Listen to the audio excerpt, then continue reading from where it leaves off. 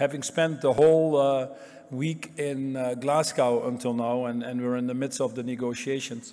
I want to come back to Walter. He says you can't just catch the big fish only, but we can keep the big fish accountable. There are many promises being made right now in Glasgow that uh, on the positive side, if you add them up, actually really looks like a bending of the curve. For the first time, we really see that these commitments are ending up to below 2 degrees. We have 50% of the finance community making net zero commitments, 90% of the countries in the world. We have businesses stepping up. We see broader coalitions being formed, be it on abandoning getting out of coal or methane or stop the further exploration of fossil fuel. All these things are actually fairly encouraging. But it's not that we can live by walking the walk. We now have to be sure that people walk the talk. And this is really what is going on now. Undoubtedly, it will be a little bit more difficult in the next few days as the negotiations take place and people start to argue about the dots and the commas and the exclamation marks. But this is what we need to hold our leaders, our big fish, if you want to, accountable for. Now, what is the interesting thing? The interesting thing is actually that we cannot solve these things when we don't fix the broken food system.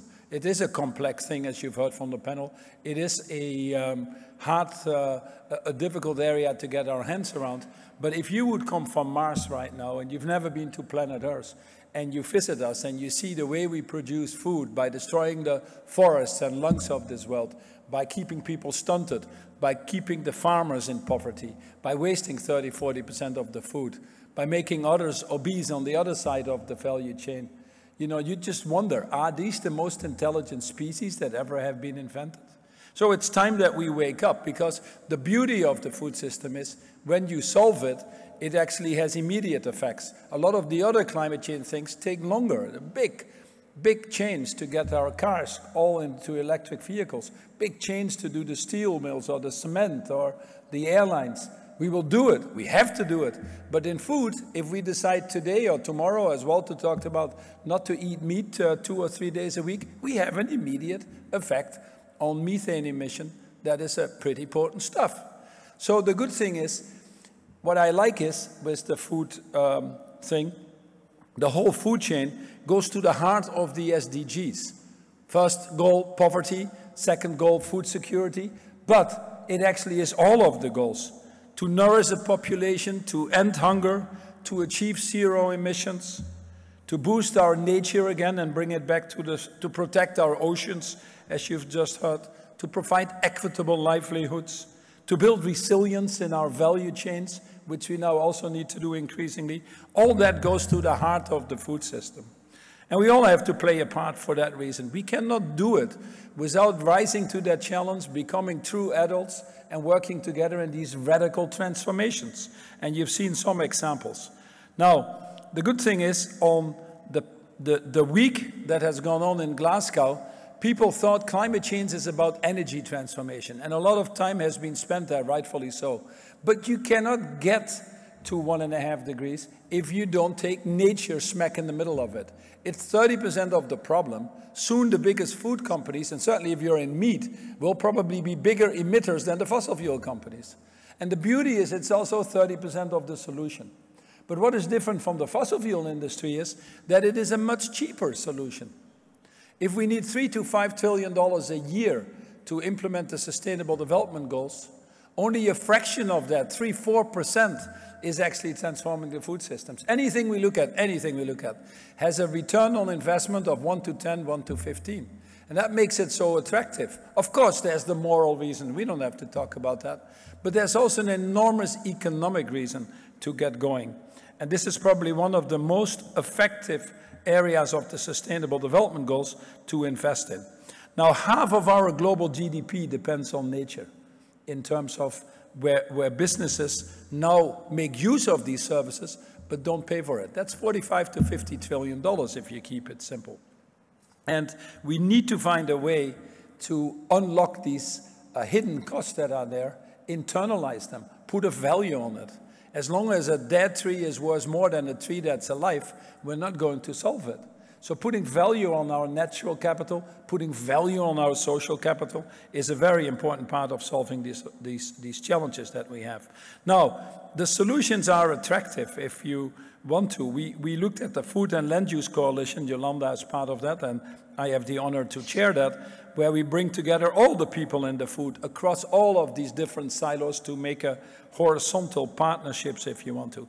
But just addressing uh, moving to nature positive economies that we're talking right now is easily an opportunity to unlock $10 trillion in economic value, easily could create 400 million jobs at a time that frankly we need it most, and getting a healthier, a healthier environment.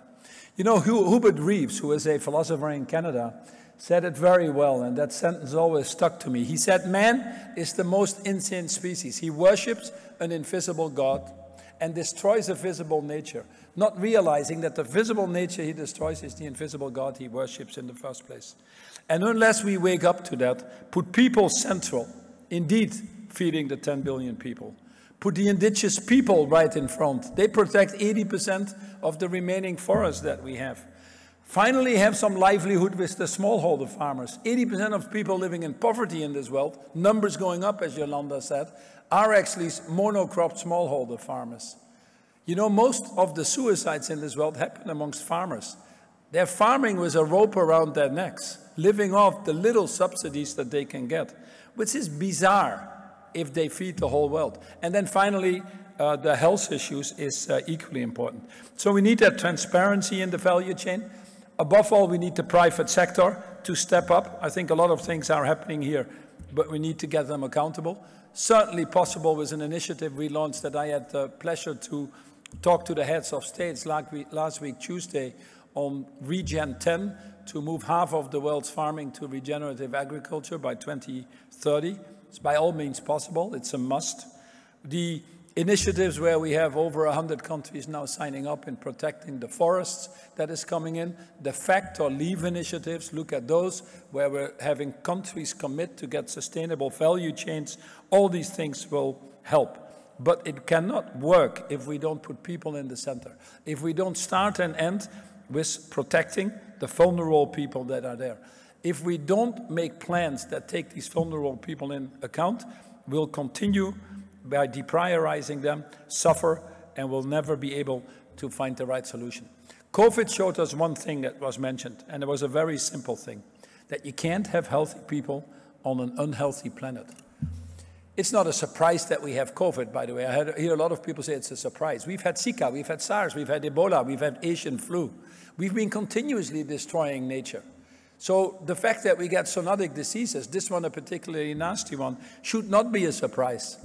What is a surprise is that we don't rally together faster to bloody well do something about it when so many people are suffering.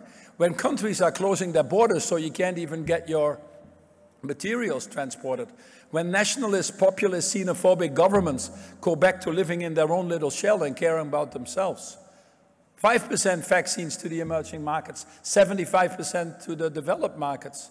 Not even having the courage to come up with 100 billion on loss and resilience for climate actions that we have caused that they suffer from. And a food chain that is about to explode.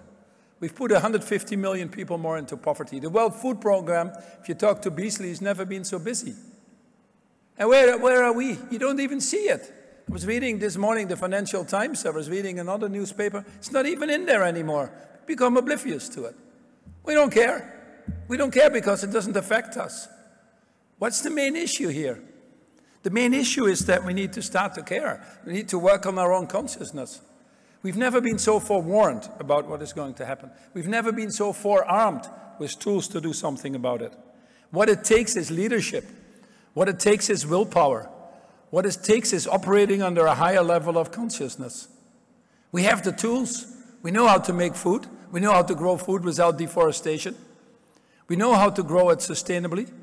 We have enough farmers in the world doing regenerative agriculture. We know who the indigenous people are that protect the forest better than we do. So why don't we put this all together? As I said, behave like adults and do this. I think what the panel has pointed out is a very important thing. This year, World Overshoot Day was July 29th.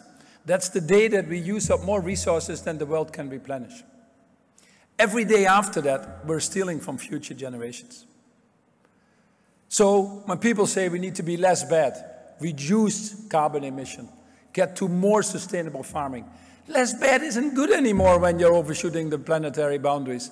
I was murdering 10 people, now I'm murdering five people. Am I a better murderer? Then people say, okay, I understand it, I understand it. Stop hitting me. I'm going to be sustainable. Sustainable is neither good nor bad. That's not good enough anymore either. We can't afford to say I'm going to increase more emissions because I'm buying offsets there, so I'm neutral. I'll let the people suffer who live next to the coal mine and the railroad tracks and I plant a few trees where nobody is. It's not going to work. We need to start thinking regenerative, restorative, reparative. And that is what I call net positive.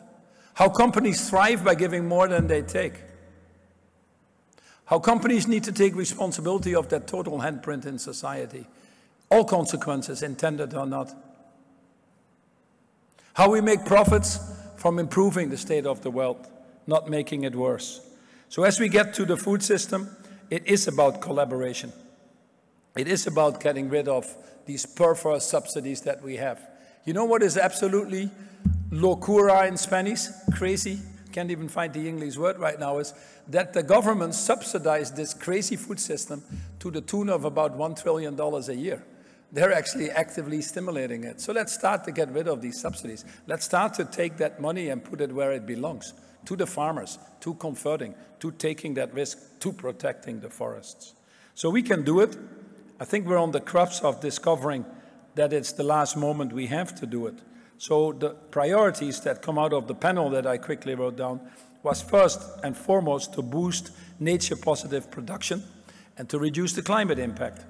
Secondly, to be sure that we advance this equitable livelihood that was talked about.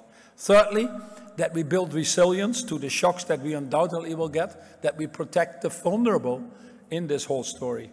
And finally, that we find with the governments, the, the, the partnerships that help us on the means of implementation, where we get rid of the perverse subsidies or the wrong rules, laws, and regulations, if you want to, and where we put the right ones in place at the heart of the NDCs. And that needs a lot of public and private investment. It is ridiculous that we are 30% of the solution and only have a few percent of the spending against that. So we need to put more money against it. We need to be sure that in all of the NDCs, we have the food, agriculture, and land use systems.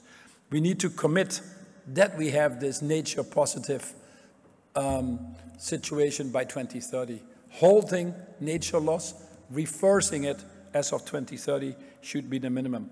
The panel mentioned the true cost of food, also important, that we start measuring. We treasure what we measure. If we can show that the true cost of food is about two, or I would argue three times more expensive than what we actually pay for it, perhaps more people will pay a little bit of attention. And then last but not least, I want to end where I started. This can only work if we welcome the wisdom and the experience of the people who actually produce the food, the farmers, the fishers, the indigenous people. They, above all, should be at the center of this.